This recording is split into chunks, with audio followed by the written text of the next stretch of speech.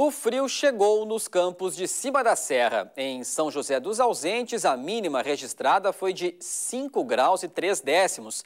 Já na capital, as temperaturas ficaram amenas, entre 15 e 23 graus. Será que vem mais frio para o estado no sábado e também no Dia das Mães? Vamos à previsão do tempo.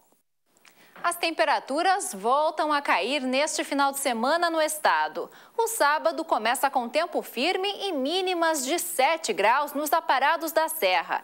No decorrer do dia, a presença do sol garante elevação das temperaturas. No entanto, os valores não ultrapassam os 23 graus na maioria das regiões. Previsão de tempo bom na região metropolitana. Em Porto Alegre faz 23 graus. O litoral sul tem aumento de nebulosidade ao entardecer, em razão da umidade vinda do oceano. A mínima é de 14 em Rio Grande. Sol entre nuvens na Serra Gaúcha. Os termômetros não ultrapassam os 18 graus em Caxias do Sul. Na campanha, o dia será parcialmente nublado. Faz 10 graus ao amanhecer em Santana do Livramento. Céu claro na fronteira oeste. Em Uruguaiana, a máxima é de 22 graus. O Dia das Mães promete ser agradável, com friozinho e predomínio de sol em todo o Rio Grande do Sul.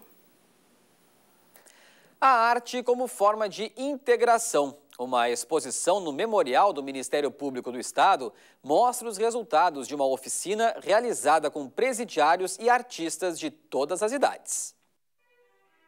Quem olha tantas cores e a riqueza de traços nem percebe que a situação de cada autor é diferente. Uns estão atrás das grades e puderam sentir o prazer da liberdade brincando com as tintas.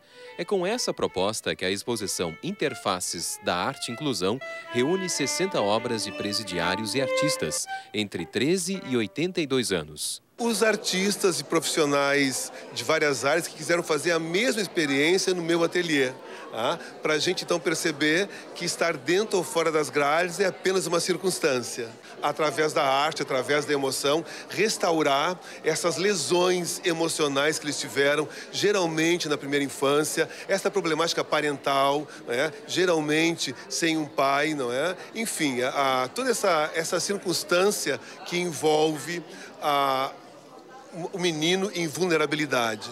Os trabalhos expostos fazem parte de uma oficina realizada pelo projeto Arte Inclusão na Fase, junto de outras iniciativas, como o MCIS pela Paz da Penitenciária Estadual do Jacuí. Eles tiveram condições de trabalhar as emoções que foram trabalhadas nessas oficinas. Eles conseguiram se abrir, conseguiram essa aceitação, né? Enfim, então assim foram muito interessantes tanto terapeuticamente quanto para trabalhar a questão da arte e da cultura, que é um dos nossos objetivos. Os pincéis e tintas fazem a diferença. A arte é uma forma de lidar com a vida carcerária, com os traumas e é uma chance de mudar o futuro. Renata pintou uma tela junto com os meninos da fase. Quando a gente dá abertura através uh, de alguma possibilidade artística ou cultural, ou mesmo da educação, uh, tu está dando voz a uma voz que foi calada até então, que vivia em silêncio. É dar a possibilidade para eles verem outras cores além do cinza que é a prisão. As telas da exposição estão à venda. Todo o dinheiro arrecadado vai ser revertido para projetos na fase. A mostra vai até o dia 16 de maio e fica aberta em horário comercial no Memorial do Ministério Público.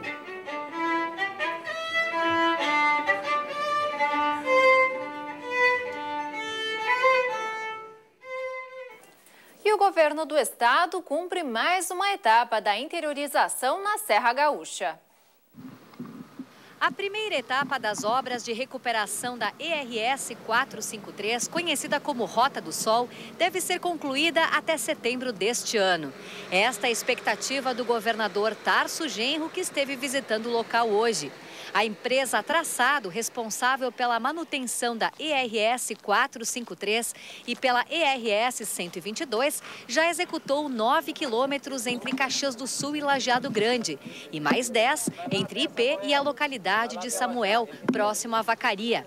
Os dois trechos somam 95 quilômetros e serão revestidos com novo asfalto facilitando o escoamento da produção e a travessia de moradores de Caxias e região para o litoral. Uma obra que vai resolver o problema de trafegabilidade da Rota do Sol.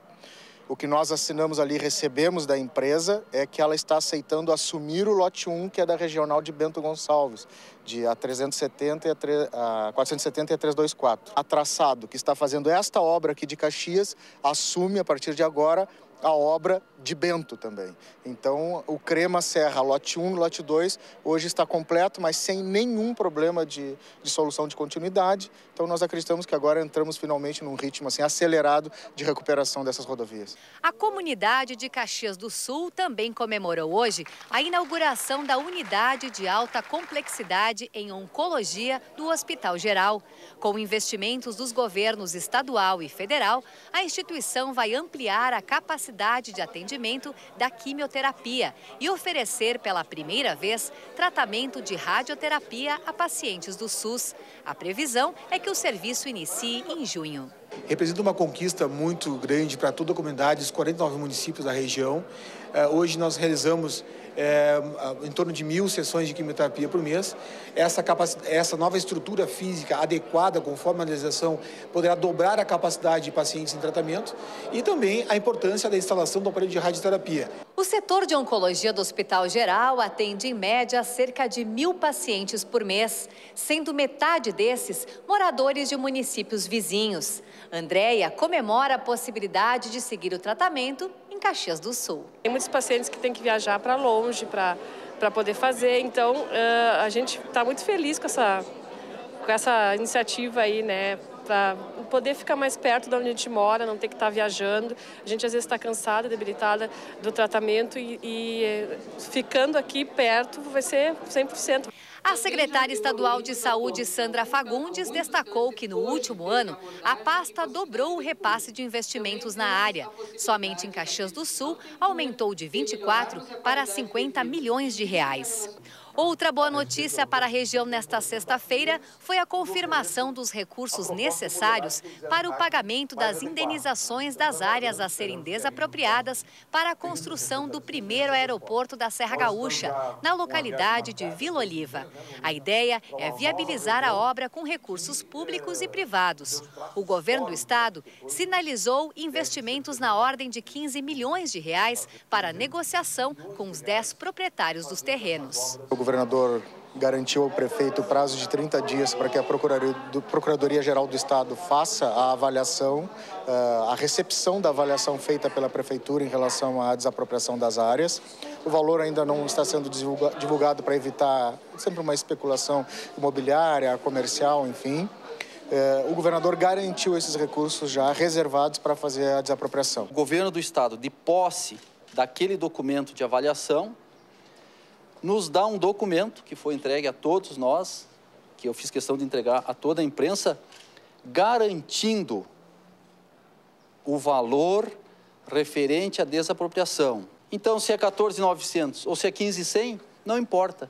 O que importa é a grande notícia que o governador nos traz, que é o valor completo da indenização do aeroporto da Serra Gaúcha, que vai ser construído lá em Vila Oliva.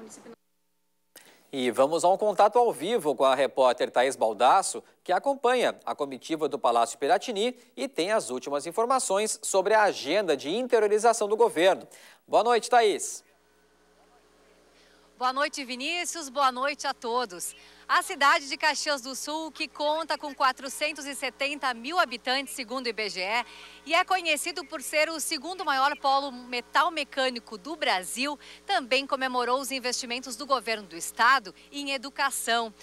Foi, inaugurado, foi inaugurada oficialmente hoje pelo governador Tarso Genro a Escola Estadual Desvio Risso. Ela já está em funcionamento há três meses e conta com 200 alunos. Era um sonho antigo da comunidade desse bairro. Amanhã, a comitiva de interiorização do governo parte para Flores da Cunha, onde confere as obras da ERS 122 no trecho entre Caxias do Sul e Flores da Cunha. E depois a viagem segue para Farroupilha, onde o governador confere a aplicação de recursos na ordem de 5 milhões de reais usados para a reestruturação da instituição. Ele também anuncia amanhã o aumento do repasse mensal para o Hospital São Carlos de 700 mil reais. De Caxias do Sul para o Jornal da TVE, repórter Thaís Baldasso. Muito obrigado, Thaís. Ótimo trabalho. O Jornal da TVE termina aqui.